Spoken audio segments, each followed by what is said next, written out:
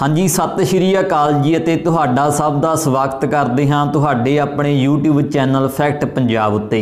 ਦੋਸਤੋ ਵੀਡੀਓ ਸ਼ੁਰੂ ਕਰਨ ਤੋਂ ਪਹਿਲਾਂ ਫੈਕਟ ਪੰਜਾਬ ਚੈਨਲ ਦੀ ਪੂਰੀ ਟੀਮ ਵੱਲੋਂ ਤੁਹਾਡਾ ਸਭ ਦਾ ਬਹੁਤ-ਬਹੁਤ ਧੰਨਵਾਦ। ਅੱਜ ਤੁਹਾਡੀ ਸਭ ਦੀ ਬਦੌਲਤ ਫੈਕਟ ਪੰਜਾਬ ਫੈਮਿਲੀ ਦੇ 1 ਲੱਖ ਤੋਂ ਵੀ ਵੱਧ ਮੈਂਬਰ ਹੋ ਚੁੱਕੇ ਹਨ। ਦੋਸਤੋ, ਸਾਡੀਆਂ ਵੀਡੀਓਜ਼ ਨੂੰ ਇਸੇ ਤਰ੍ਹਾਂ ਹੀ ਪਿਆਰ ਦਿੰਦੇ ਰਹੋ ਤਾਂ ਜੋ ਅਸੀਂ ਤੁਹਾਡੇ ਲਈ ਹੋਰ ਵੀ ਵਧੀਆ ਕੰਟੈਂਟ ਲੈ ਕੇ ਆ ਸਕੀਏ। ਹੁਣ ਗੱਲ ਕਰਦੇ ਹਾਂ ਸਾਡੀ ਅੱਜ ਦੀ ਵੀਡੀਓ ਬਾਰੇ। ਦੋਸਤੋ, ਰਣਜੀਤ ਬਾਬਾ ਤੇ ਲਵਲੀ ਨੂਰ ਦੀ ਜੋੜੀ ਕਿੰਨੇ ਆਏ, ਕਿੰਨੇ ਗਏ? 21ਵੀਂ ਸਦੀ ਫਤਿਆ ਤੇ ਪੰਜਾਬ ਬੋਲਦਾ ਵਰਗੇ ਗੀਤਾਂ ਤੋਂ ਬਾਅਦ ਇੱਕ ਵਾਰ ਫਿਰ ਹਾਜ਼ਰ ਹੋਈ ਹੈ ਆਪਣੇ ਨਵੇਂ ਗੀਤ ਨੋ ਗਾਰੰਟੀ ਦੇ ਨਾਲ। ਦੋਸਤੋ ਇਸ ਗੀਤ ਬਾਰੇ ਬੋਲਣ ਨੂੰ ਇੰਨਾ ਕੁਝ ਹੈ ਕਿ ਇਸ ਗੀਤ ਦੀ ਹਰ ਇੱਕ ਲਾਈਨ ਉੱਪਰ ਅਸੀਂ ਇੱਕ ਅਲੱਗ ਤੋਂ ਵੀਡੀਓ ਬਣਾ ਸਕਦੇ ਹਾਂ। ਇਸੇ ਵਜ੍ਹਾ ਕਾਰਨ ਅਸੀਂ ਇਸ ਗੀਤ ਦੇ ਬੋਲਾਂ ਨੂੰ ਦੋ ਵੀਡੀਓਜ਼ ਵਿੱਚ ਐਕਸਪਲੇਨ ਕਰਨ ਦੀ ਕੋਸ਼ਿਸ਼ ਕਰਾਂਗੇ। ਇਸ ਵੀਡੀਓ ਵਿੱਚ ਅਸੀਂ ਗੱਲ ਕਰਾਂਗੇ ਗੀਤ ਦੀ ਲਾਈਨ। ਮੈਨੂੰ ਲੱਗਦਾ ਨਹੀਂ ਚਾਂਦ ਪੂਰੀ ਬਣੂਗਾ ਓਏ ਸੋਨੂੰ ਮੋਨੂੰ ਬੰਟੀ ਕੋਈ ਨਾ ਬੰਟੀ ਕੋਈ ਨਾ। ਇਸ ਲਾਈਨ ਵਿੱਚ ਪੰਜਾਬ ਦੇ ਸੂਰਮੇ ਬ੍ਰਿਗੇਡੀਅਰ ਕੁਲਦੀਪ ਸਿੰਘ ਚਾਂਦਪੁਰੀ ਦੀ ਗੱਲ ਕੀਤੀ ਗਈ ਹੈ। ਕੁਲਦੀਪ ਸਿੰਘ ਚਾਂਦਪੁਰੀ ਕੌਣ ਸਨ ਅਤੇ ਕਿਵੇਂ ਉਹਨਾਂ ਨੇ ਆਪਣੇ ਸਿਰਫ 120 ਸਿਪਾਹੀਆਂ ਨਾਲ 3000 ਤੋਂ ਵੱਧ ਪਾਕਿਸਤਾਨੀ ਫੌਜਾਂ ਦਾ ਟਾਕਰਾ ਕੀਤਾ, ਇਸ ਬਾਰੇ ਵੀਡੀਓ ਦੇ ਅੱਗੇ ਗੱਲ ਕਰਾਂਗੇ।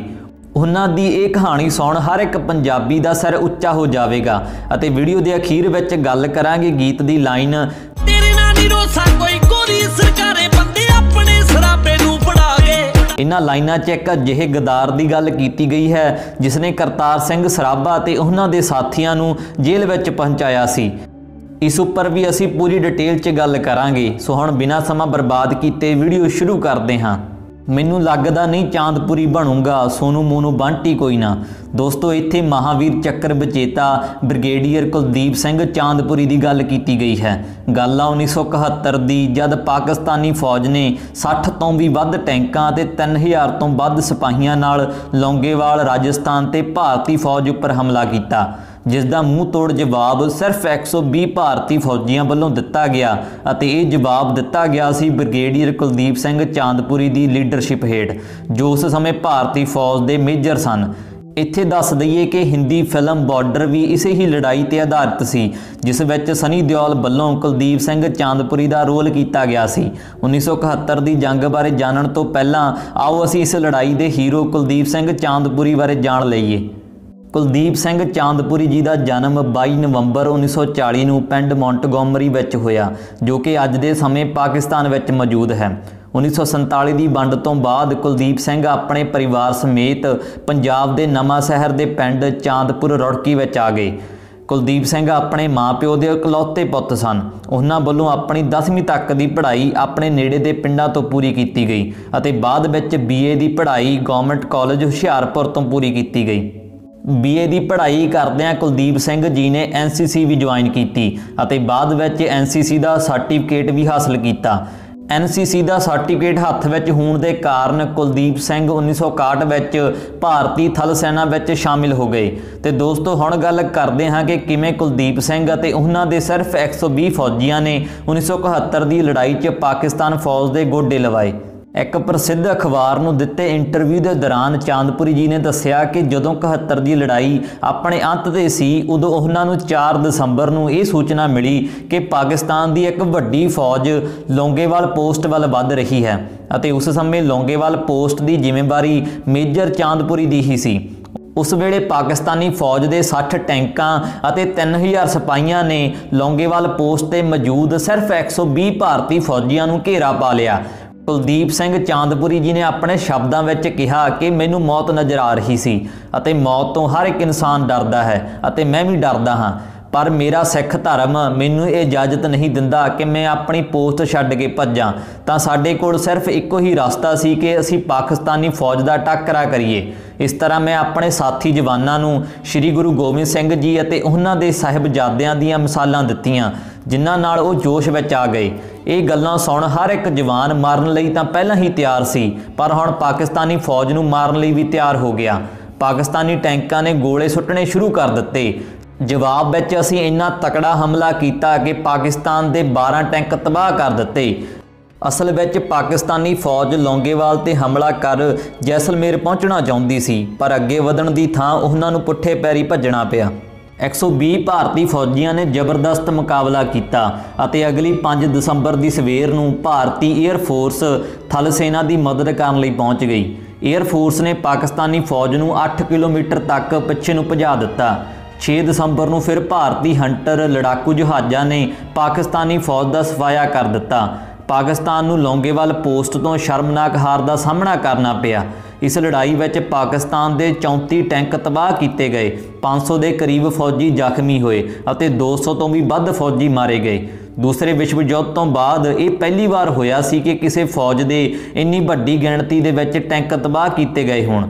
ਇਸ ਜੰਗ ਵਿੱਚ ਭਾਰਤੀ ਸੈਨਾ ਪਾਕਿਸਤਾਨ ਦੀ ਹੱਦ ਦੇ 8 ਕਿਲੋਮੀਟਰ ਤੱਕ ਅੰਦਰ ਚਲੀ ਗਈ ਸੀ ਅਤੇ ਉੱਥੇ ਕਬਜ਼ਾ ਵੀ ਕਰ ਲਿਆ ਸੀ। ਅਖੀਰ ਜੰਗ ਜਿੱਤਣ ਤੋਂ ਬਾਅਦ ਭਾਰਤੀ ਸੈਨਾ ਕਬਜ਼ਾ ਛੱਡ ਆਪਣੀ ਸੀਮਾ ਵਿੱਚ ਵਾਪਸ ਆ ਗਈ। ਜੇਕਰ ਉੱਥੇ ਕੁਲਦੀਪ ਸਿੰਘ ਚਾਂਦਪੁਰੀ ਅਤੇ ਉਹਨਾਂ ਦੇ ਬਹਾਦਰ 120 ਜਵਾਨ ਨਾ ਹੁੰਦੇ, ਤਾਂ ਅੱਜ ਭਾਰਤ ਦਾ ਨਕਸ਼ਾ ਕੁਝ ਹੋਰ ਹੋਣਾ ਸੀ। ਕੁਲਦੀਪ ਸਿੰਘ ਚਾਂਦਪੁਰੀ ਅਖੀਰ 78 ਵਰੇ ਦੀ ਉਮਰ ਵਿੱਚ 17 ਨਵੰਬਰ 2018 ਦੇ ਵਿੱਚ ਮੁਹਾਲੀ ਦੇ ਇੱਕ ਹਸਪਤਾਲ ਵਿੱਚ ਇਸ ਦੁਨੀਆ ਤੋਂ ਅਲਵਿਦਾ ਲੈ ਗਏ ਕੁਲਦੀਪ ਸਿੰਘ ਚਾਂਦਪੁਰੀ ਨੂੰ ਆਪਣੀ ਬਹਾਦਰੀ ਦੇ ਕਾਰਨ ਮਹਾਵੀਰ ਚੱਕਰ ਦੇ ਨਾਲ ਨਵਾਜਿਆ ਗਿਆ ਸੀ। ਸੋ ਦੋਸਤੋ, ਇਹ ਸਾਨੂੰ ਚਾਂਦਪੁਰੀ, ਜਿਨ੍ਹਾਂ ਦਾ ਜ਼ਿਕਰ ਲਵਲੀ ਨੂਰ ਅਤੇ ਰਣਜੀਤ ਬਾਵੇ ਵੱਲੋਂ ਸਾਡੀ ਅੱਜ ਦੀ ਪੀੜ੍ਹੀ ਨੂੰ ਪ੍ਰੇਰਿਤ ਕਰਨ ਲਈ ਕੀਤਾ ਗਿਆ ਸੀ। ਹੁਣ ਗੱਲ ਕਰਦੇ ਹਾਂ ਗੀਤ ਦੀ ਅਗਲੀ ਲਾਈਨ ਬਾਰੇ, ਜਿਸ ਵਿੱਚ ਲਵਲੀ ਨੂਰ ਲਿਖਦਾ ਹੈ ਕਿ ਤੇਰੇ ਕੋਈ ਕੋਰੀ ਸਰਕਾਰੇ ਬੰਦੇ ਆਪਣੇ ਸਰਾਬੇ ਨੂੰ ਫੜਾ ਗਏ ਇਹਨਾਂ ਲਾਈਨਾਂ ਵਿੱਚ ਕਿਰਪਾਲ ਸਿੰਘ ਨੂੰ ਫਟਕਾਰਾਂ ਪਾਈਆਂ ਗਈਆਂ ਹਨ, ਜਿਸ ਦੀ ਵਜ੍ਹਾ ਕਾਰਨ ਕਰਤਾਰ ਸਿੰਘ ਸਰਾਭਾ ਸਮੇਤ ਕਈ ਗਦਰੀ ਬਾਬਿਆਂ ਦਾ ਅੰਗਰੇਜ਼ਾਂ ਨੂੰ ਦੇਸ਼ ਚੋਂ ਬਾਹਰ ਕੱਢਣ ਦਾ ਸੁਪਨਾ ਚਕਨਾਚੂਰ ਹੋ ਗਿਆ।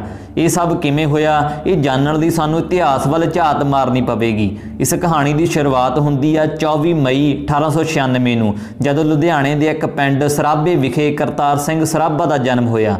ਬਚਪਨ ਵਿੱਚ ਮਾਤਾ-ਪਿਤਾ ਦਾ ਛਾਇਆ ਉੱਠ ਜਾਣ ਕਾਰਨ ਕਰਤਾਰ ਸਿੰਘ ਸਰਾਭਾ ਦਾ ਪਾਲਣ ਪੋਸ਼ਣ ਉਹਨਾਂ ਦੇ ਦਾਦਾ ਬਦਨ ਸਿੰਘ ਵੱਲੋਂ ਕੀਤਾ ਗਿਆ। ਉੜੀਸਾ ਤੋਂ 10ਵੀਂ ਕਰ ਕਰਤਾਰ ਸਿੰਘ ਸਰਾਭਾ ਸਿਰਫ 16 ਸਾਲ ਦੀ ਉਮਰ ਵਿੱਚ ਆਪਣੀ ਉਚੇਰੀ ਪੜ੍ਹਾਈ ਲਈ ਅਮਰੀਕਾ ਚਲੇ ਗਿਆ।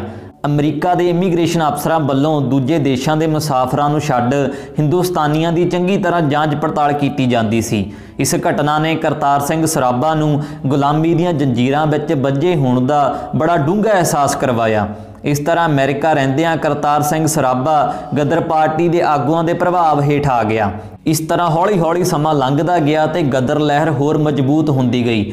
ਅੰਗਰੇਜ਼ੀ ਸਰਕਾਰ ਨੂੰ ਟੱਕਰ ਦੇਣ ਦੇ ਲਈ ਗਦਰ ਲਹਿਰ ਦੇ ਮੈਂਬਰ ਹਵਾਈ ਹਮਲੇ ਲਈ ਅਭਿਆਸ ਵੀ ਕਰਨ ਲੱਗੇ। ਸਭ ਤੋਂ ਪਹਿਲਾਂ ਕਰਤਾਰ ਸਿੰਘ ਸਰਾਭਾ ਜੀ ਨੂੰ ਹਵਾਈ ਜਹਾਜ਼ ਰਾਹੀਂ ਲੜਾਈ ਦਾ ਅਭਿਆਸ ਕਰਨ ਲਈ ਭੇਜਿਆ ਗਿਆ।